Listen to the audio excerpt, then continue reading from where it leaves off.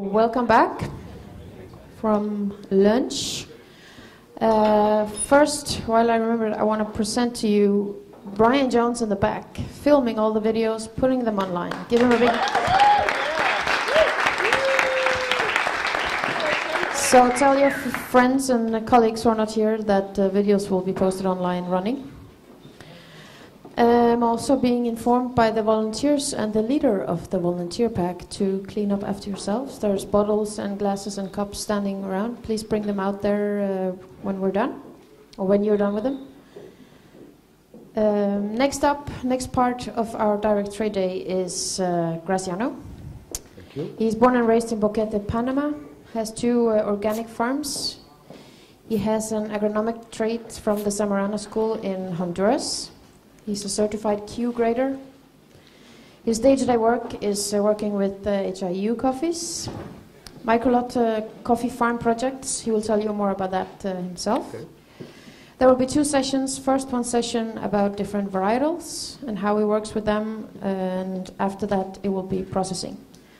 Please give him a big hand. Okay. Thank you guys. Okay, good afternoon. Thanks a lot. It's a really honor to be with you guys here. I think it's one of the most interesting coffee markets in the world, Scandinavia. The first time I came here, I came with one of my controversial coffees, and I found a really nice friends and niche who appreciate something different. So then I start to learn about you guys, and I think that first the Vikings shouldn't be just a helmet with two horns, should be a helmet with two horns, an axe, just changing and cutting all things, and a cup of coffee in the other hand, because you guys are the bigger drinkers of coffee in the world. So that's our company, HiU. We have been working with this concept just for a couple of years with some friends who helped us to develop this. Uh, I am a farmer. Uh, as I say, this, she told me a lot of that. I was born, grown, and for sure I will die in a coffee farm. It's no choice. Agronomist, I worked 15 years in microbiology. have to take an MBA to understand how to make numbers in coffee. Still learning. Uh, my organic farms is one of my challenges, how to produce coffee organic. It's not easy all the time. Some places it's almost impossible. Uh, I am working now in Salvador, which is, is, I can say, is my second home now.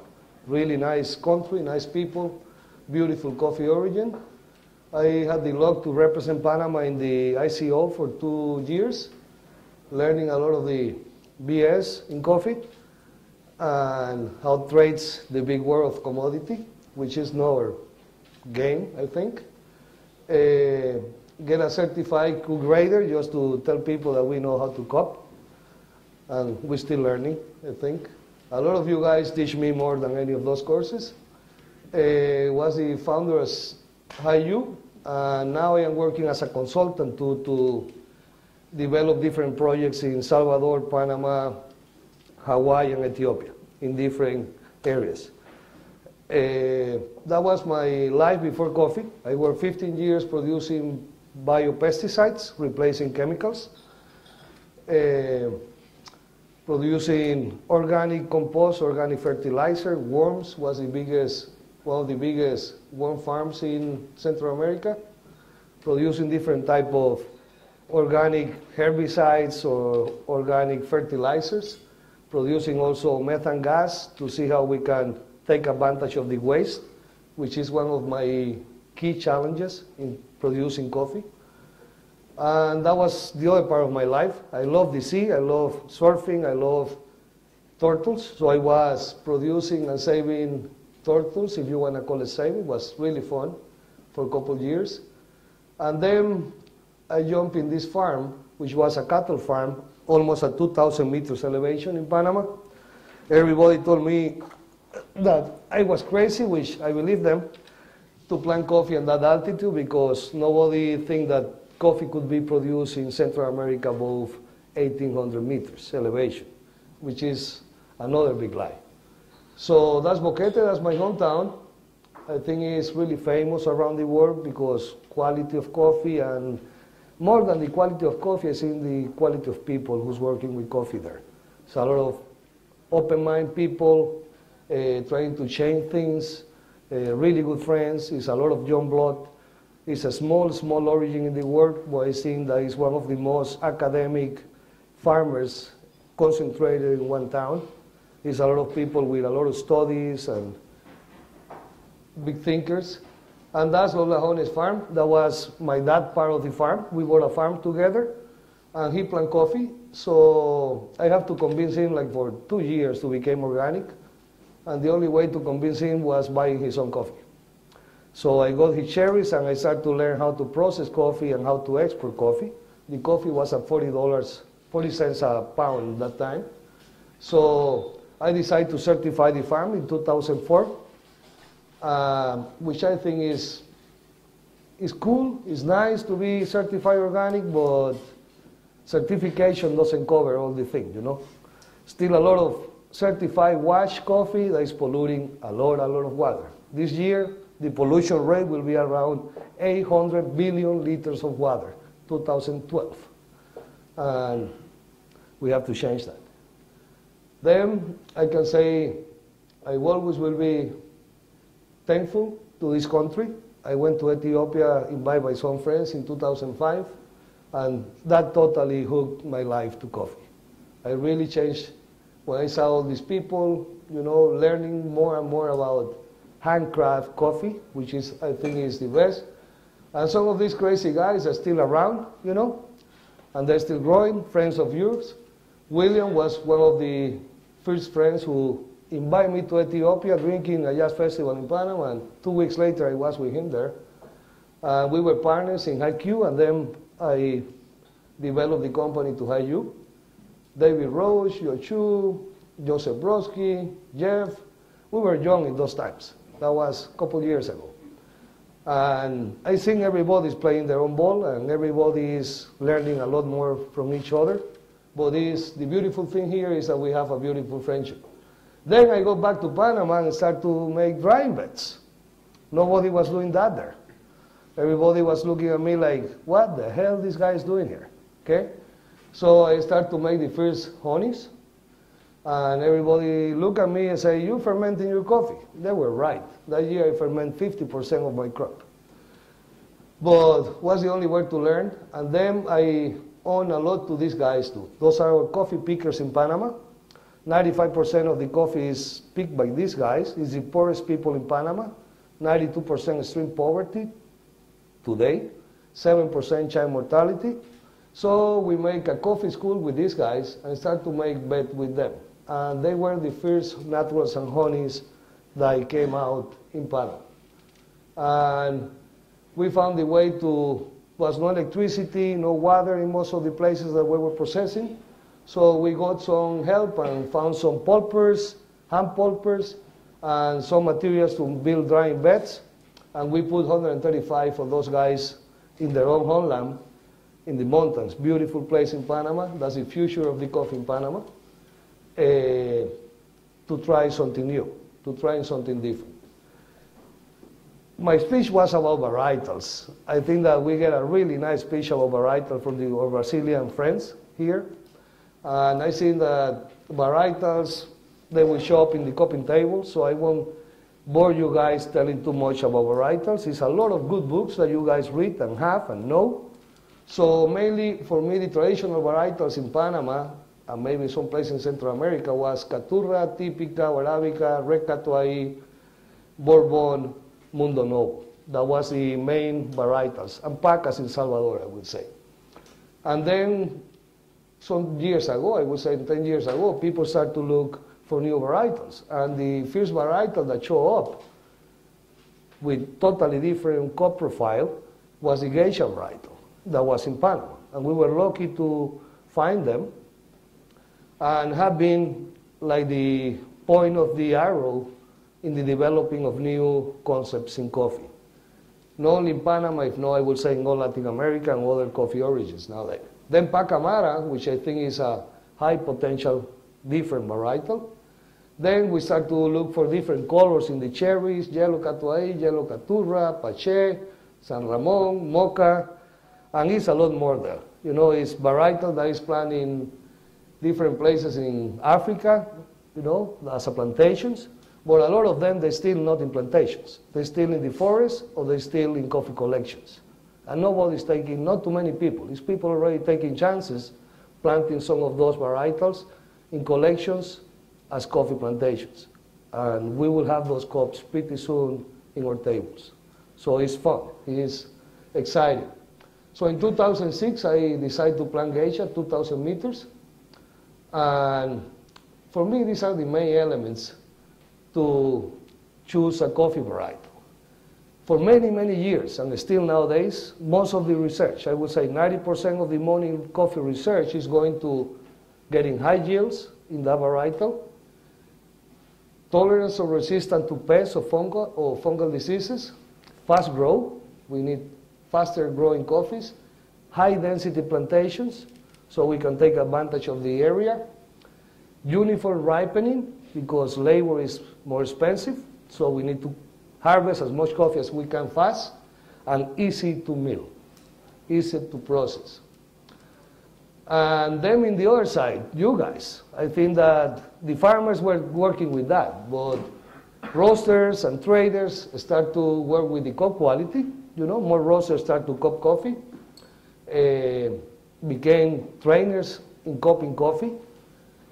Roasters start to travel into origin, so start the direct trade.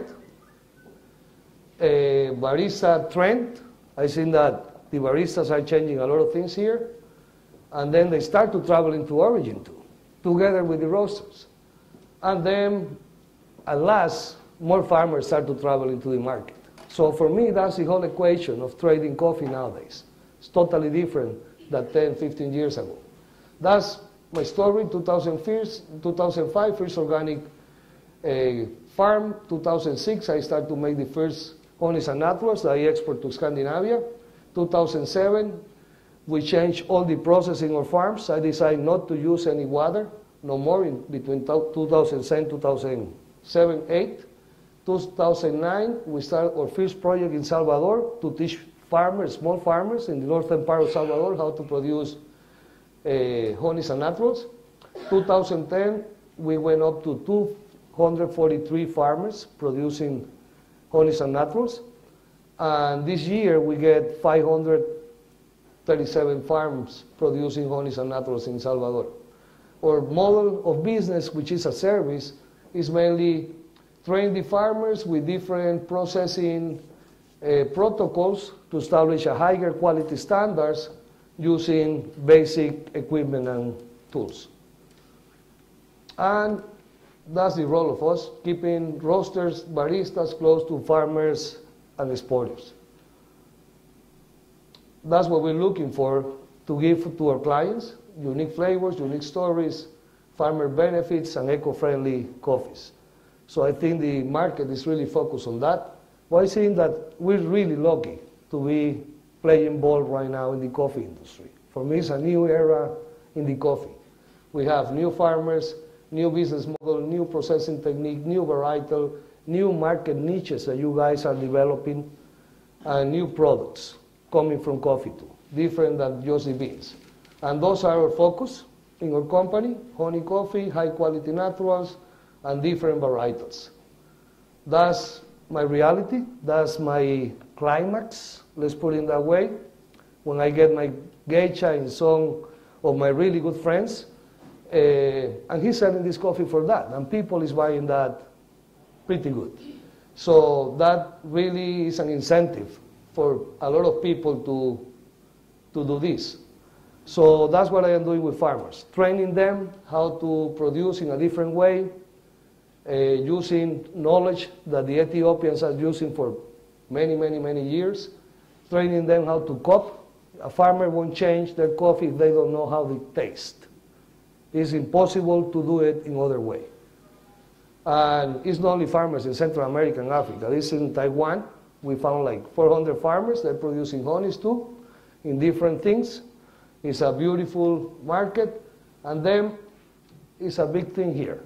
The first time that more than 100 farmers export coffee with their own name on the bags or the boxes was this project in Salvador.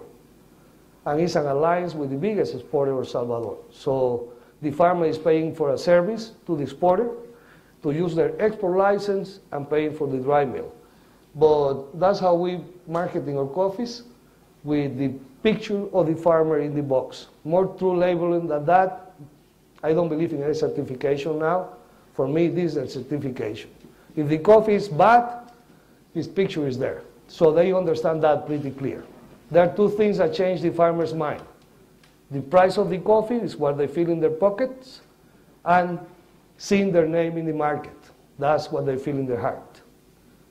And then the market alliances, we start to know people, a lot of you guys have been working in different ways. And for me, the best sustainability model is that. When the roaster or the barista know his farmer, his friendship. That's it. That's for me the most sustainable model. When you became a friend of your farmer, your roaster, your barista, or your trader, then it's a business for a long time and direct trade. Even if these guys don't buy too much naturals, they begin to cup some honeys. And some of them, they are using them. You know some people there. And then cupping in the origin, cupping in the markets is important. How the coffee tastes in the origin and how the same coffee tastes in the market. So I think that the baristas are now the point of the arrow to tell the roasters where to go. And that's a really smart move. And I don't believe in too much traditional things. So I, we keep the protocols for let's stop being in a boring business. You know? We can cop in the beach too, as Anders in a hammock. That's my hero, man. and then the barista connection, you know, is for us, for farmers, I think that should be the best guide, you know. And the barista need the farmers. You need to find special coffees that bring something new to the market. If not, the World Barista competition will be so boring. I have so many of you guys that are playing that ball, but for me, that's, that's the link. Barista, roaster, farmers. That's trade. The big traders, that's all. That's commodity, you know? And why we have to cup coffees using a cup? We can use glasses. And sommeliers to try it, they have to find which coffee is good with their food or with their wine. It's about time. So for me, that's the link. That's the challenge, and we're playing a good ball. I think that the coffee world change when we start to do this. And it's becoming more and more fun.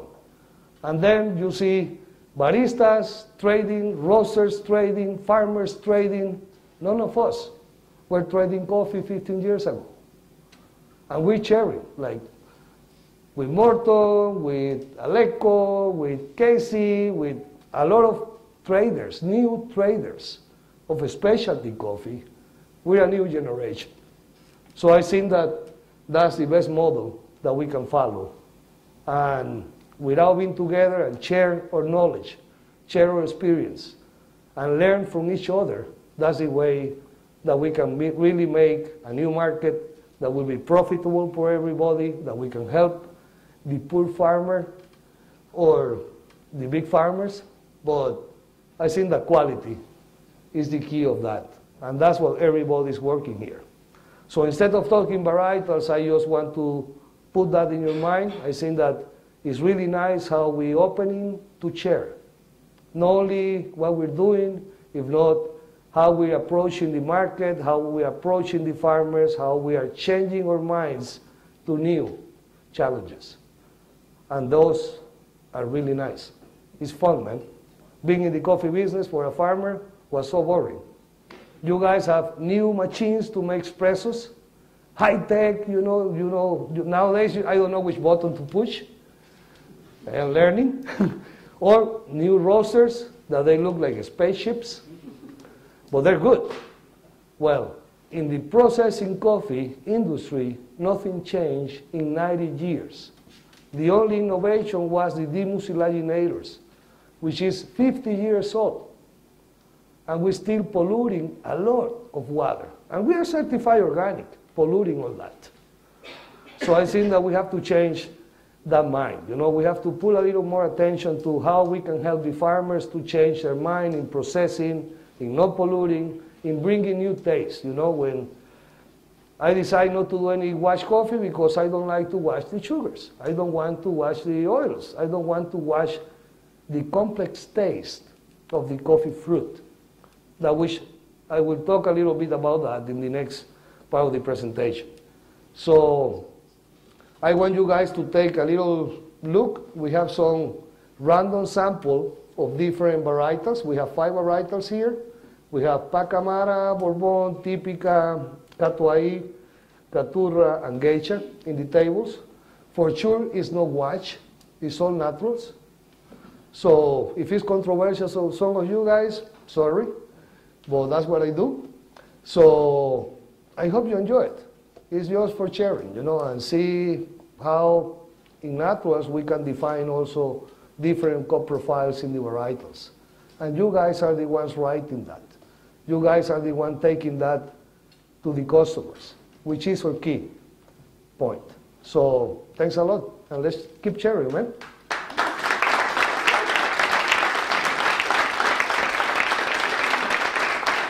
Okay, I, I think we might have time for one, two questions, questions? before we go Yeah. to the cupping tables. Yes, just Yes, a sir. second.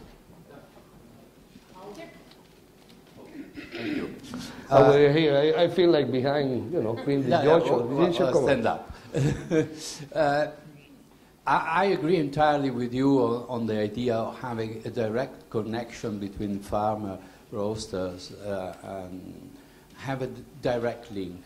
But I see a small problem when you're talking of uh, varieties and smallholders. This is the problem.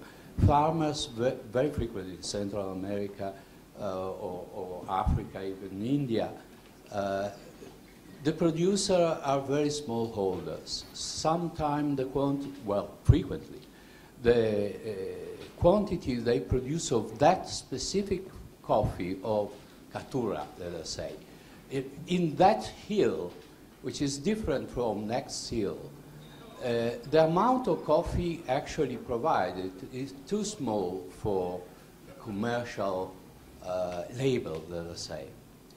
How do you, Okay, I think? I, I understand your question pretty well. I think that has been one of the paradigms in the industry, which is totally broke. You see nanolots, that's a new word that was invented like five years ago. I don't know who invented, but it fit the place. If the coffee has high quality, no one want to blend it. I have farmers with 60 pounds of coffee that I will kill myself before blending that coffee with something else because they're unique. They're just expressing a different, unique cup profile.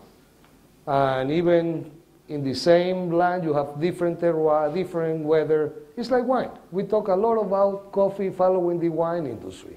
But you know what was the problem? We're not using tools to measure sugars, to measure acids, to measure tannins, to measure many things that the wine industry is measuring. And besides that, sorry, I, I forgot I get a piano in my head if I move out of here. Let's go this a piano. Uh, but what I think is that what we're believing, not thinking, what we're doing is taking that small farmer with two small boxes of coffee to the market with his name because it's the only way that he will recognize and that all the value chain can send that money back which your clients are paying for quality. So for me, that's a myth. If you have a 90 points coffee, you won't blend that. If you have 25 pounds, you will keep it. A lot of you guys are buying those coffees. And that makes us to work in those coffees in a totally different way. We're not selling commodity here. If we're thinking that we're making containers of 90 points coffees, we're really high. Maybe we're high, and we have to keep on that. Because there are a lot of good coffees there, but we have to teach those guys how to keep that quality. And if you ask me if I buy coffee, I don't buy coffee. I call a lot of my colleagues coffee hunters because they're hunting for the best cup of coffee in a cupping table. I believe in hunting farmers. We have to teach them. When you find a good coffee, go to the farmer and incentive him to keep his quality and help him to make it good, to bring those 100 pounds, 1,000 pounds, or whatever intact to the market. That's a challenge that we have. Sweet. Thank you. Let's uh, go to the. We will clap for him later as well. You can give him a round of applause now. So please uh, find your cupping table. Start uh, the dry. rock and roll. Uh, Pacamaras for me is a different acidity. You have 11 different lines of Pacamara that were developed in Salvador. No have been developed any other more from those, the original ones. They were spread. I have been trying to copy all of them in Salvador. We got, what happened is that they develop them and they blend them. And they start to give it for free, those seeds to the farmers. So you have pacamaras that have, are really pungent, almost like shallots or onions, are really herbal, the other in the middle. And then you have some pacamaras that are more fruits. And I will say that the acidity of those pacamaras is not like dark fruits. It's more like yellow fruits. Or I will say even tamarind, which the acidity is more, more sharp. Uh, when we make a natural with those coffees, I think that the intensity of everything gets stronger because it's a low density bean. It's a big bean. And when you have a big bean, for me it's like a sponge or a Holland cheese with a lot of holes inside. And when you, the only way to fulfill those holes is with sugars, oils, and water, and air. So when you guys roast, the first thing that comes out is the air. The second thing that comes out is the water. And then you start to burn the sugars. And when you get to a second crack, you're taking out the oils. So it's totally logical. Physiologically, in the physiology of the bean, that's a really simple way to understand it, I think, even for the farmers. Uh, the pacamara, for being a low density bean, as geisha or typica, that longer, they have more capacity to keep sugars in. So when you make a honey or a natural, you will see that the cup profile goes to sweetness because there are more sugars and the acidity is more intense. Also the tannins is more body there. All these varietals you will find some of them that are really low, medium, mellow bodies, the body get more intense. You get more chocolates, you get more spices. So for me that's that's a, a pacamara. One of the questions in the table was what about fermentation? I think that we have been drinking a lot of fermented naturals for a long time. And the way that we, that's what I mentioned, we are doing high quality naturals because a lot of naturals in the world. But most of them, they have been processed with the worst coffee in the farms or whatever float in the floating tanks for doing wash coffee or whatever is green that the pulpers cannot peel it.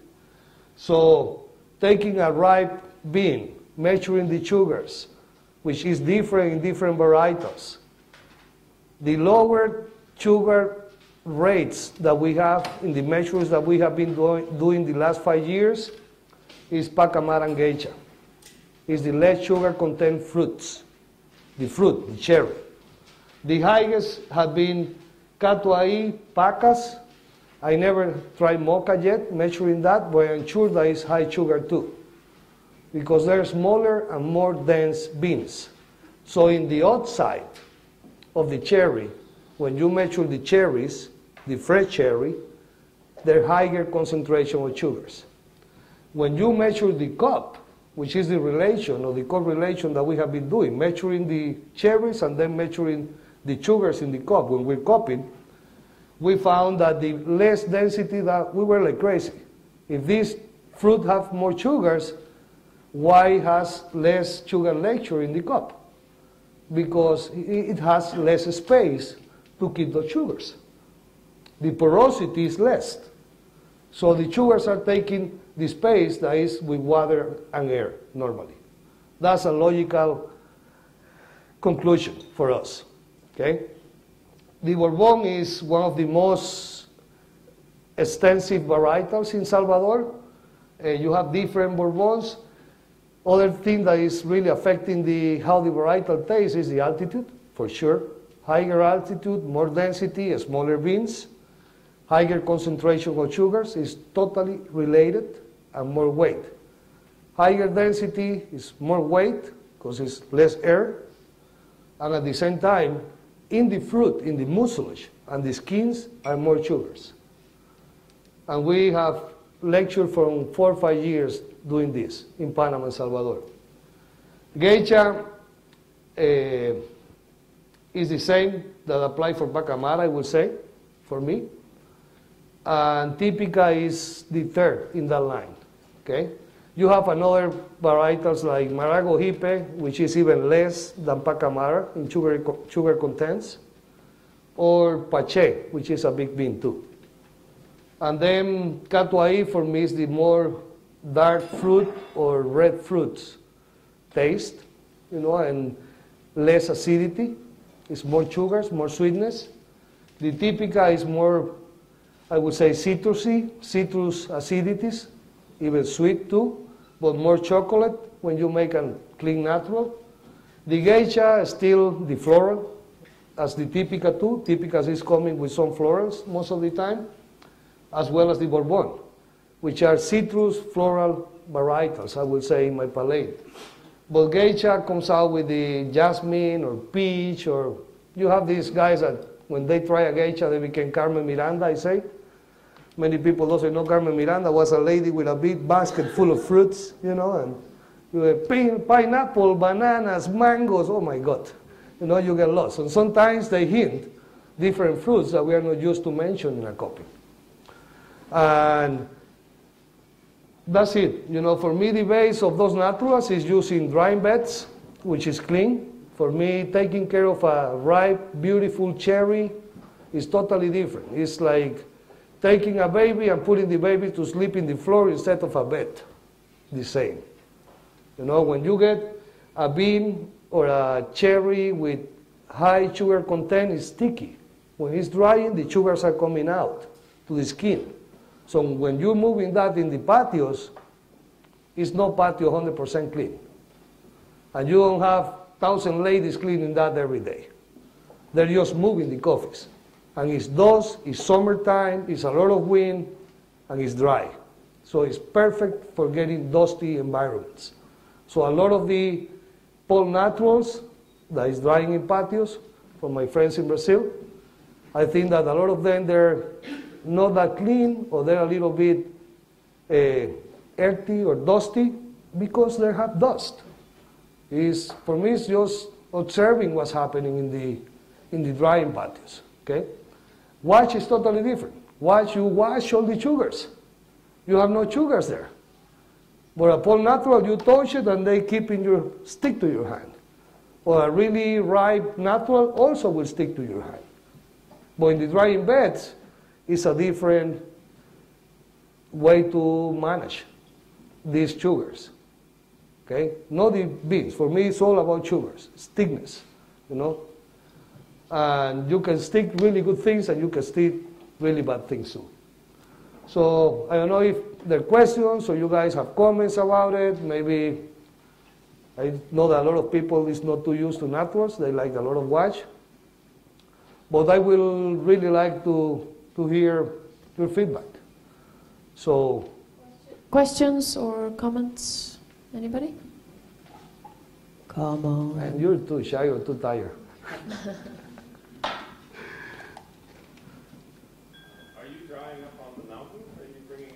All the, all the coffees are, most of them are dying the farm. You know, the concept is not moving the coffees from the farm. How do you deal with the rain? You cover it. You know, you will see in the processing part, there are a lot of people using different things. I think that most of them they're valid. Uh, and it's not only the rain, it's the humidity at night. When you are in the tropics, before 8 o'clock in the morning, you have a different relative humidity on the air, and after 4 o'clock, the same. So, and we're harvesting sometimes in high elevations a longer time. you harvest in maybe four or five months. You are doing four, five, six pickings in the fields. So it's really variable. So what you need to do is find the driest time in the day, at least in or protocols to doing it. And for us, it's enough six hours of good sun in the driest part of the day. If it's raining, we don't open the beds. Or if it's raining too much and you know that it's going to rain, it's people using type of greenhouses or tunnels or it's a lot of people doing innovations and developing in this, you know. And I think that that's one thing that the farmers have to do. You know, it's really creative people. And it's people that maybe doesn't know how to read, but they know how to think. So it's really practical ways to just tell them what you want. And tell them more than one time, because they maybe don't understand the first time. Any other question? Johan asked me a little bit about fermentation. I would prefer to talk about fermentation in the processing uh, talk that we will have, which is key in the different process of coffee. And it's key for the taste of, of the coffee itself. Okay, guys? Coffee break? okay, guys. Uh, I will pass a really fast video just to give an idea how it works, how we're doing this project in Salvador with so many farmers that sometimes it's a little bit hectic, you know, because when you came with a with a cooperation project in any country, all the farmers think that they're getting things for free. And it's true. Most of the times, these corporations give different things for free to the farmers, and most of the time they're teaching how to do something to them, but that's it. A lot of the consultancy programs I have known, they teach the farmer how to do something or the people how to do something, but at the end, the marketing part is the big, big losing gap. You know, you make the best spoon in the world, but after we teach you how to do it, find your own market. And that's what we're trying to turn around a little bit. And I think that most of the models that my colleagues in the, in the room are doing is that, working from the, farm, from the market all the way down to the farm. So I will put this is in Spanish. I will put those are uh, different areas where we're working. And I will pass by some, some of the things. Those are the farmers, really small. We explain them in different ways. First, you know, they have to go to the movies to see what's going on. And they like that.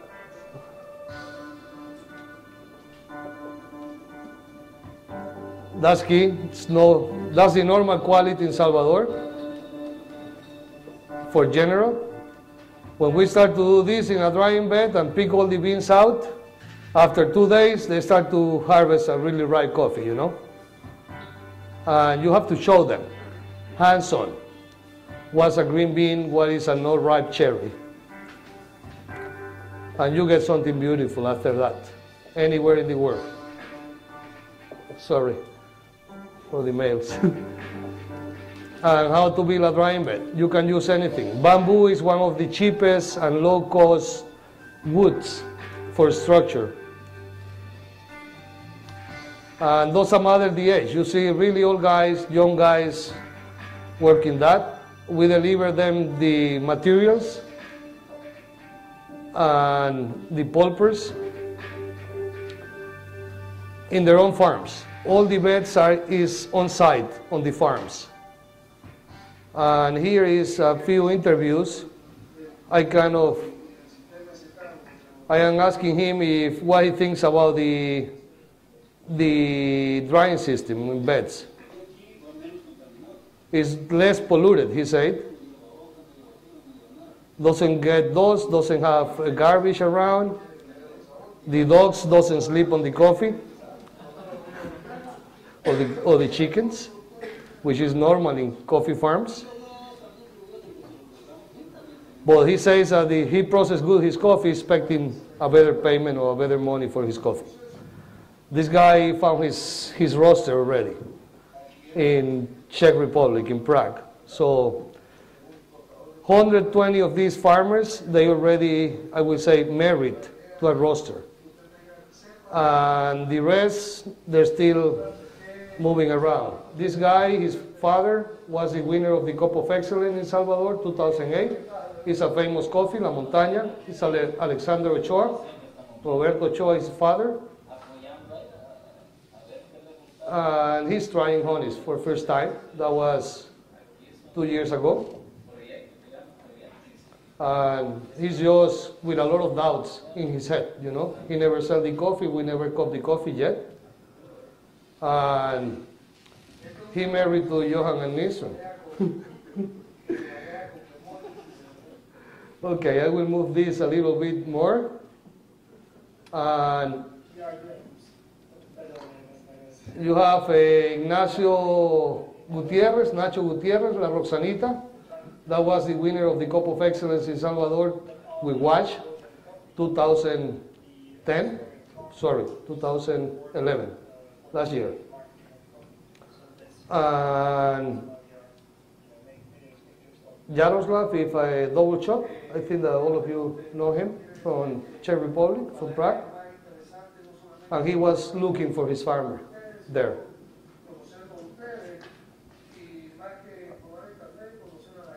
Mainly, I am telling them that the roster want to meet, meet them, you know, to get direct connections with them. Sorry, you know these guys?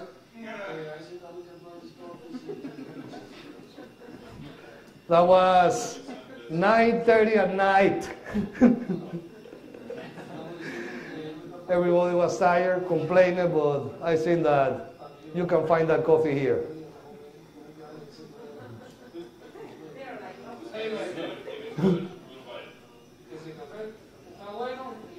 The coffee is good, we buy it, they say. And they follow the word, man. And that's it. You know? That's our role to make that connection. And that's the other part, you know, going to different places to the coffee with people.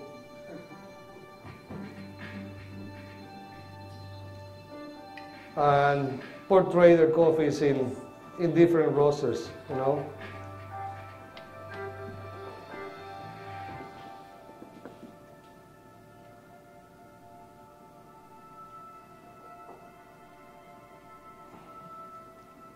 I say just to give a short idea what the whole programs are for.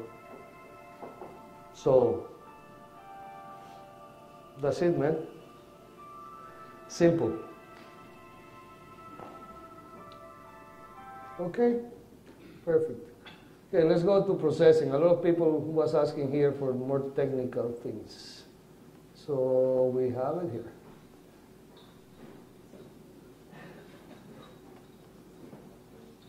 Sorry. Oh my God, what happened? Hello. Okay, there we are. Okay. Green coffee processing technology. That's what I was telling you that is getting old. You know, it's few changes in the coffee processing techniques. Some of them they're really old, but we think that the best, that's our concept about, you know, best quality coffee must be clean, a clean way to get there, based in essential elements involved in the high quality of the cherry and the high quality of the green bean, ready to be roast. Simple concept which ends in your client's palate. So, too philosophic, but that's it. And that's the coffee fruit. We're using only 45% of whatever is there, the green beans. The rest, we're throwing that away from a long time. What we're trying to do nowadays is see how we can use that. I was working with that before working with coffee. I was working with the pulp to make fertilizer for a long time. Right now is people find out that in all that mucilage, which is the membrane that looks like jelly, is one of the highest antioxidant contents fruits in the world. acai fruit is one of the super fruit now. Coffee has 10 times more antioxidants than acai. Besides that, the skin has a lot of taints. There's a lot of energy drinks using that because the coffee has caffeine that keeps you up for sport men, antioxidants, a lot of vitamin C. Coffee has more vitamin C than many, many citrus and have 13% protein. So it's a really good, good element for making any energy drink, and you have a lot of them using that. You have Kona Red, you have Bai, and for sure there are more coming out. So it's a new door in the industry for those drinks. And your clients are drinking that too. That's the what you saw before. If you go to the physiology of the plant, it's all related. It's a living organism where is the seeds. We're roasting the seeds of the plant. So the embryo has all the germination capability, which is surviving of this species. It's a high osmotic organism, so it's really permeable. That's why coffee can get polluted really easy or contaminated. It's like a sponge. It gets different odors, tastes, whatever you put around, coffee can take it. Phytohormones is really high concentration of not only antioxidants, vitamins, proteins, because it's an important part of the plant. It's the next generation, and you need those hormones to grow. So in the cherries, to change colors, to become differentiated the seeds, there are different type of hormones that act in that. All those are in the seeds. And then you have germination inhibitors too. So you can plant a coffee cherry right away you harvest and once come out. It have a, a latency, sorry for my English, a, have a dormant stage. And those are the ones who make that happen. And then you have the other parts, which is the parchment, which is pure cellulose that is protecting. It's a membrane that is protecting the seeds.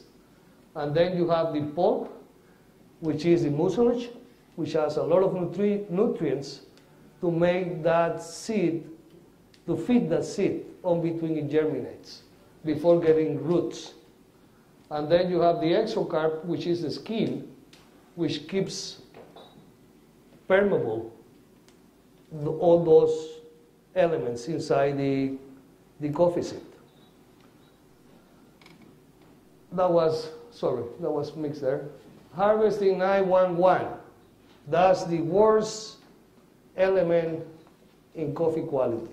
If you don't harvest good your cherries, it's impossible to get a specialty coffee. A lot of farmers doesn't understand this. And a lot of places they don't can use labor because it's too expensive. They have to use machines. Or it's too big, they don't have enough people. So that's why the industry developed machines to separate greens, to float it, to make the siphon. Uh, the siphon, just to tell you a little story, was developed in Boquete by, by a French engineer that was working in the Panama Canal. And the guy was the owner of Lerida Farm. That was the guy who built that farm. Uh, but it's a lot of brilliant people working on that. That's basic in, in the processing, the quality of hand picking, the effect of cherries versus effects in the cup. You will see a slide that project them. Greens, you will see some really nice green patios. Dry and early deaths, that's abortion, that the plant doesn't have enough nutrients, or the climate conditions or diseases doesn't allow the fruit to develop. Those are the drier deaths young, fungi attacks, insect attacks like coffee borer, contamination effects, which is mainly high toxic chemicals or herbicides, and overdoses Because the farmer, if he doesn't kill the insect, they are used to put more insecticides, and that's changing a lot. In Panama, it's really normal now to use this. If you don't get the cherries that say Café Maduro or ripe, ripe cherries, this one here, they discount the money from you. I am pushing this with the naturals a little bit over here, okay? And that's it. You know, you get, not only the farmer is losing money because of quality. Uh, unripe bean, like that, is you, the farmer is losing 50% of the weight, losing 50% of their money, or the potential to get their money.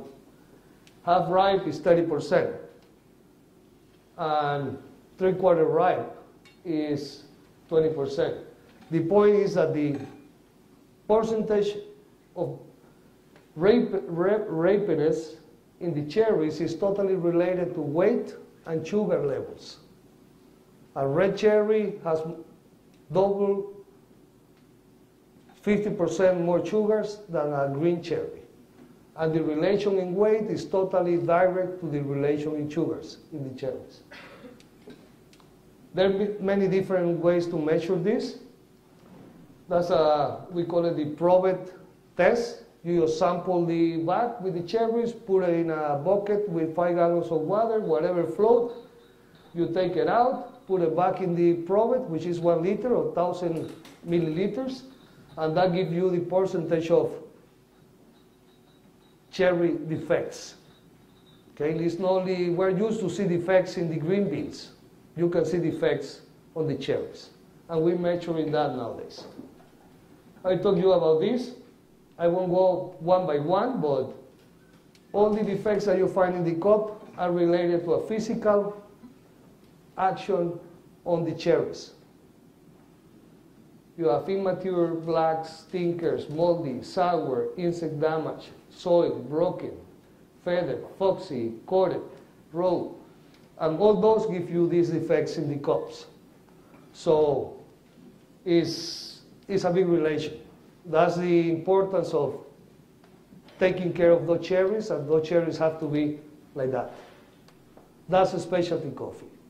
And that's really hard to be understand, understood by the farmer if he doesn't have an incentive to do that. Why? It's easier just to rape the stem and bring everything that is in the stem, and it's faster to harvest coffee like that. And they get paid by volume. So now everything is changing. In Panama, we pay by quality of harvesting. And that means that this guy can make 30% or even 50% more money if he brings this coffee to us. Because I am losing money in my farm if he brings a green bean. And if he brings green beans, I discount money from him. They have to be clear on that. The pickers have to be clear that that's a reality.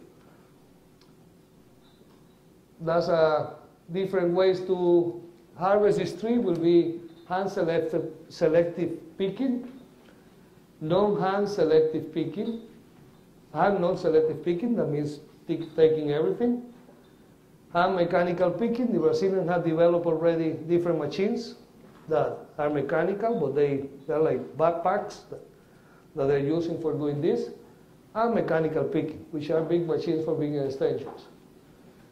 That's what we get from processing wash coffee. Okay? That's really, really polluted water. Because all the sugars became alcohols. And we think, okay, it's pollution. Well, the pollution is that when it goes to the water streams or the creeks, it's so rich in different nutrients that the algae grow really fast in those rivers or creeks. And whatever is living there is without oxygen. The algae are taking all the oxygen, so the concentration of oxygen in the water goes really down, and nothing else can live without different type of lichens or algae. So that's a reality too. And well, you have it there, you know. That water is have been used three times to ferment the same coffees. because it's a limited element. It's less water available for farming all around the world.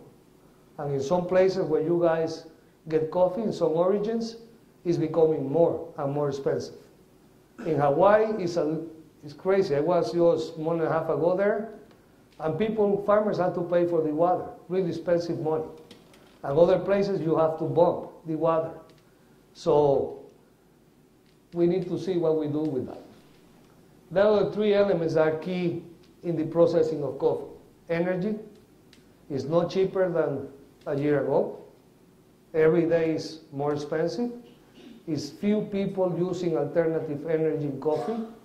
Most of it is still fossil fuels or electrical energy or hydroelectrical. Transportation, again, gasoline is not less expensive and even the mules of the horses cost more money than 20 years ago.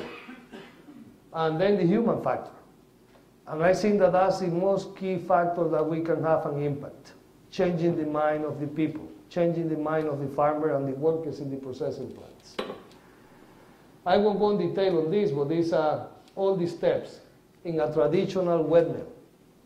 You see how many different steps are there, how you're taking the greens out, the pulps out, how they go in. Imagine that these are different channels, all moved by water. The only way to go from one step to the other is pushed by water. Like that. That's a floating tank. You see the amount of clean water that is getting there. The coffee is the normal way that we buy the coffee, by weight or by volume. And then they pull this, poof, and goes here and whatever is not good floats. And everything is moving in that system with water. Then the pulpers, the fermentation tanks, different ways to wash, you know, pre-drying, mechanical dryers use a lot of energy. Right now in Central America, 70% of the source of energy for the mechanical dryers is still being wood. In Costa Rica was a study made by MIT or Massachusetts Technology Institute seven or eight years ago. And the deforestation use for the coffee industry, industry every year is more than 13,000 hectares. And those are one of the best wet coffees or wash coffees in the world. That was the ma main innovation, was developed 50 years ago. The, the mucilaginators then became the eco pulpers and that can reduce 90% the use of water. And that's a big discussion between the people that ferments coffee. It's just to remo remove the mucilage, or a lot of roasters think that improves the quality. So that's a controversial point still nowadays. And it's a good point. I have a lot more studies, it's people doing a lot of studies. Okay? It's a lot of hypotheses. It's nothing became a theory yet, nothing proved. Those are the mucilaginators. It's just by friction, using less water, taking this out. Semi-wash coffees is that. Semi-wash use less water, more physical friction, and it's a more simple system. You can see it there. It's a big thing between what's honey coffee and what's pulp natural. Pulp natural still float the beans, still use some water. Honey coffee is zero water. That's it. When we started to do this, people was really complaining. Not only the people who buys the coffee, because could be fermentation there, and we ferment a lot of coffee at the beginning, and these people beginning doing what honeys, and they're fermenting coffee the first times. But we're you know, getting more close to a protocol where we can avoid that. Because sticky. The honey was a joke, but it was reality. When we started to do honeys, I was with a good friend of mine, uh, Joseph Brodsky, you know him. We were in Panama doing the first honeys and tasting. I want him to taste it. And he came to the tables and we were moving the coffees. And then everybody was complaining. And he said, man, what happened with the honeys? Say, well, people is complaining here and say, Yeah, people is bitching because it's sticky, the bean, so we put honey bee. And the bee wasn't because bees, was because bitching. And those were some honeys. You can see the sugars thick. It's like a cracker jack, or it's like something that the sugars really, you can see how clean they are. The smell, really like molasses. And that's really simple. That's what we're doing. We're putting two generations there. That's the best heritage that that guy can give to that kid. To teach him how to make money in his farm, doesn't go to the cities, doesn't find another source of income. Doesn't mean that he cannot study or become a lawyer or a doctor or whatever, but he has to keep that coffee farm. In Boquete, in my hometown, in 12 years, we lost 50% of the coffee area. And it's going down still because it's booming as a touristic place. That's in the Noves. That's the, when we start, that's all you need to make honey coffees. A pulper and drying beds and good farmers. And those are the drying beds. We start to change the materials that the Ethiopians were using. Now this is coming back to Ethiopia, thanks God. And we were talking about when it rains, that's what you can do, you know. And then comes something even simpler. That is the natural process. That is the oldest way to process coffee. And that's 30% of exports of Salvador coffee. We weigh, and only Salvador, I would say all Latin America. We make a monitoring in 14 of the biggest mills in Salvador, and the average was between 27% to 35% of green, totally green cherries. When you export 1 million bags, that means 300,000 bags that they're losing. They don't need any cooperation or any money from USAID or the, community, the European community. It's there. Just let those beans ripe, man. And you have all the money to improve your industry. For me, that's it. You know, it's different positive things that the, these two methods can bring to the industry.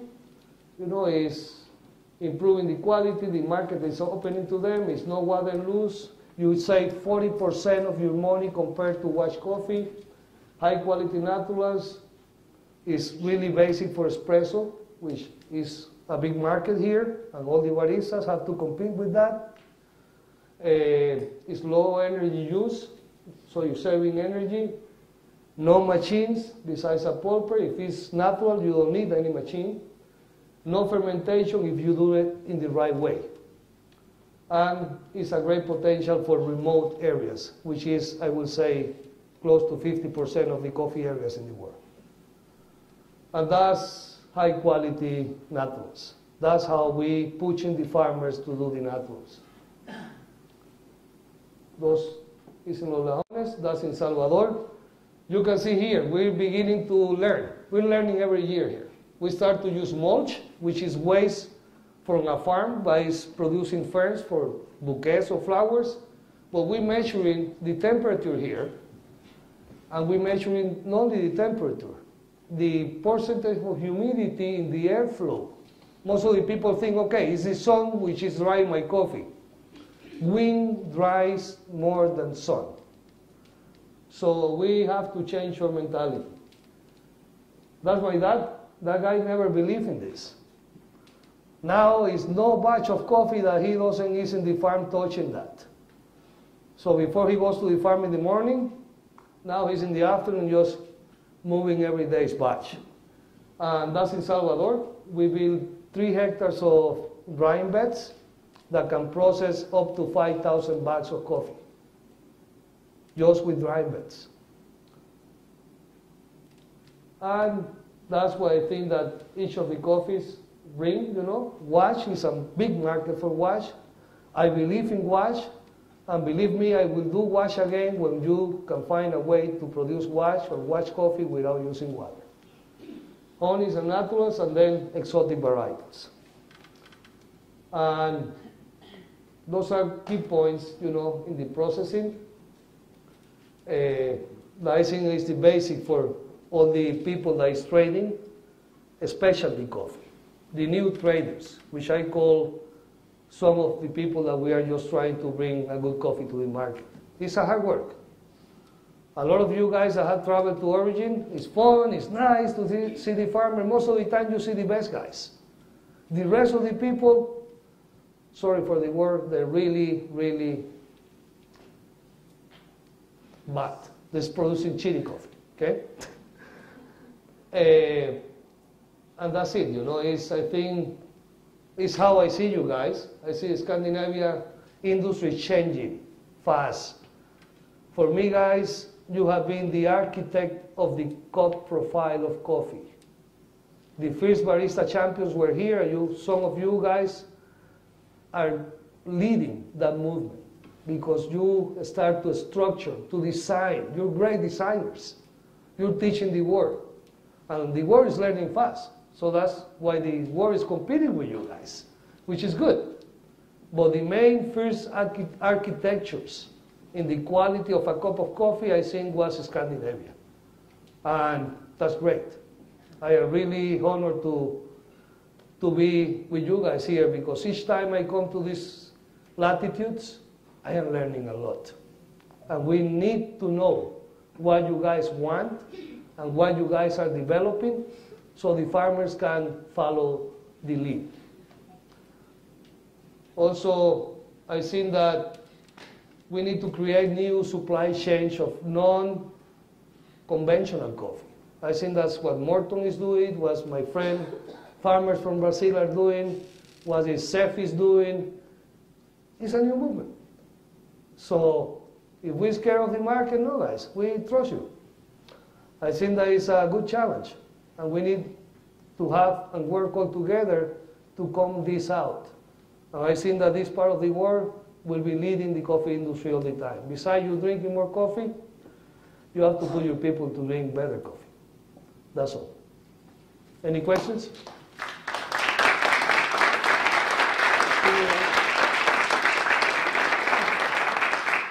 Questions for Graciano? Anyone? Come on, people. Wake up. People need coffee here. Yeah. Um, you mentioned that you deduct money from the farmers if they give you green coffee. Yeah. How how does that work? Uh, uh, how how does the farmer? Okay, how let's, many let's, times? Yeah. let's put it in this way. If, if uh, we weigh the, far, the coffee, it's becoming more weight than volume nowadays. And if we detect, we have always someone supervising the quality when the pickers bring the coffee to be measured, you know, they to weighed. And if we detect green beans, we put the picker to select it under their own time. If not, we won't receive the coffee or he's fired. He cannot pick coffee in our farms. It's the only way to do that. We have to be hardcore discipline in this. The other way is that whatever weights in green he takes out, we deduct all the way down to 50% of whatever he's getting paid for harvesting any kilo of coffee. So he lost 50% of his salary. He doesn't pick or select good the cherries that he's bringing. So so this is penalty. Is there any incentive for him only to pick? Yeah, the incentive is that they're getting at least 50% more money if they pick coffee our farms compared to our neighbors or commercial coffees. I've seen that some of the people that have visited our places, just to put a, an example, in Panama the price for picking 30 pounds of coffee last year was $1.75, 30 pounds of cherries, we were paying 350 and we never were out of people who wants to pick coffee our farms. But that assures me that my quality always will be a high standard cherries. And that's the same that we're doing in Salvador. So this message is really simple to understand by people. You know, if I don't bring whatever they want, or if I lost money doing this, people change. All right. Question? Yeah. Second. Uh, okay. Uh, is the picker and the farmer the same person? When you say they get 350? Well, in, in Panama is few farmers that is picking their coffees, to be honest. Yeah. Okay? The only farmers that pick their own coffees is the novice. Yeah, Okay? El Salvador is a different story. A lot of the small farmers, they work in picking their own coffee. So in Africa also. But in Latin America, is I doubt it. In Brazil, the farmers are picking the coffees. You know, they're working in selecting. You know, it's have to be a really small farm holder. When you have more than one hectare of coffee, you need people to pick it with you. And if you get people picking coffee with you, you better watch out what they're doing instead of be picking coffee yourself. So it's totally related to the area or the size of the farm, of the farmer. So they get paid by day or by, No, no, by weight. By weight. At the beginning, maybe what we're doing in the harvesting is that we send people to pick all the defects, cherries first, and we pay more money for that coffee because it's less. But when they come, came into the field again to do the first harvest, is no defects there.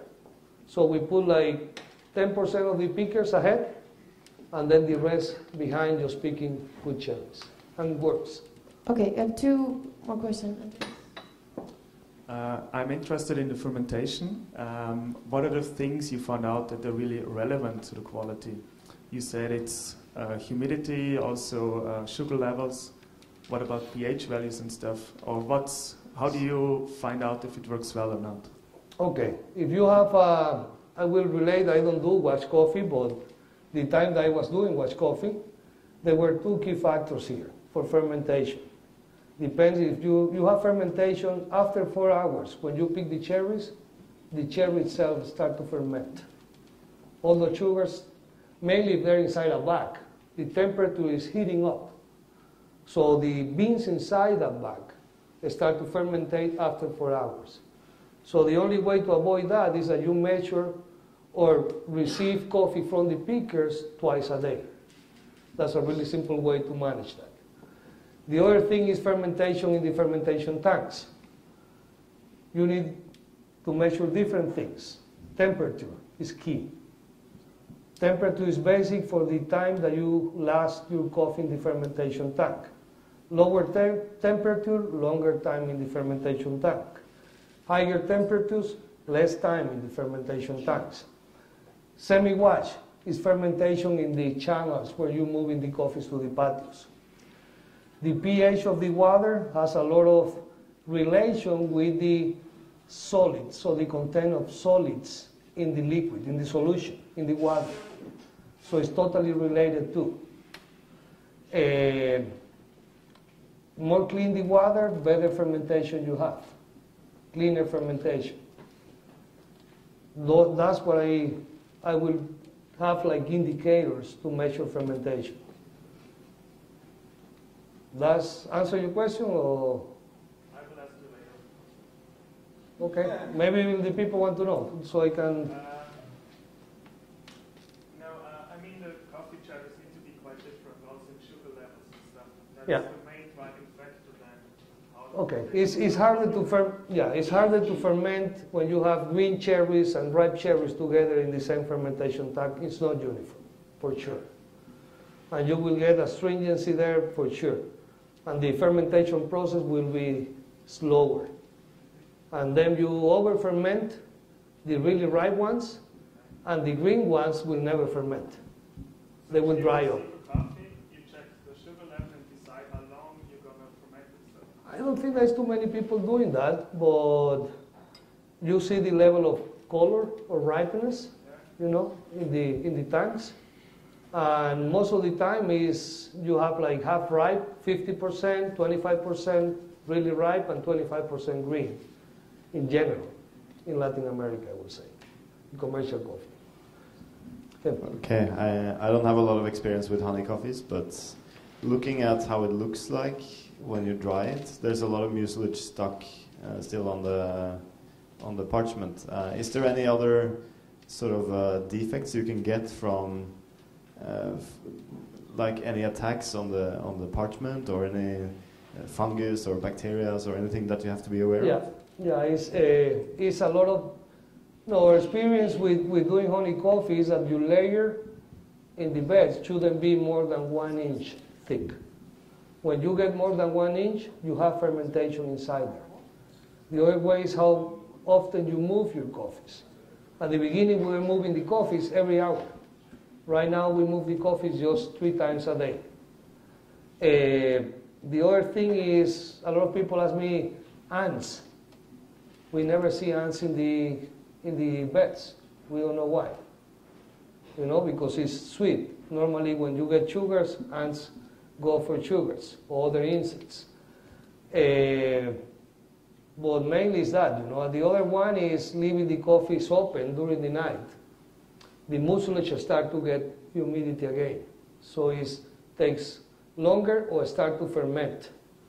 If you leave the bed open and don't close it and cover it with plastic, so normally when you pull it, roll it, you have just one third of the table that is getting humidity from underneath. But the like when you put this together is in the afternoon after having six, eight hours of sun, the temperature is, is higher. So the heat of the this bunch of coffee doesn't allow the humidity to get in. So it's a small, small percentage of beans of parchment that will get high humidity from underneath. But yeah, when you play with more than one inch, for sure you get some fermentation in the honeys. And that took us like three years to come down to that. You need more bed space, which is, is maybe a higher investment. We think that we can amortize the beds in three crops. Should be like that. You know, they should last three crops. Uh, the materials that you use, the size of the holes in the nets, in those black uh, shade nets that they use for chain. Uh, also the type of plastics. We start with white plastic, yellow, we try different colors. Green, red, black plastic keeps more the temperature. Also what we're doing now is trying to cover the plastic that we used to cover at night, put it in the sides during the day, so the airflow underneath will have a higher temperature and will move faster. You know, the hot air goes from low to up. So in the bed, you hit the beds and move with the flow. Also, you should make your beds in the direction of the sun, so you get more, more exposure to the sun during the day. And the other one is try to get that with your wind currents. Normally, when you're drying coffee, it's summertime in our countries, and you get more wind. And that wind should flow underneath the beds all the time. The other one is cover your dust. You know, it's easy when you get a dusty, really dry area. That's what you want in drying beds. Have a lot of dust. When people walk, you can see the cloud of dust around. So that's why we start to use a type of mulch, the cheapest mulch that we can use. You know, it's maybe cutting grass or cutting weeds or whatever other type of mulch that we can use that doesn't smell too much or doesn't contaminate the, the odors of the, of the coffee. Sweet. There will be another round of uh, four questions after the cupping. Thank you, Graciano. Okay, thanks to you guys. There's one more cupping.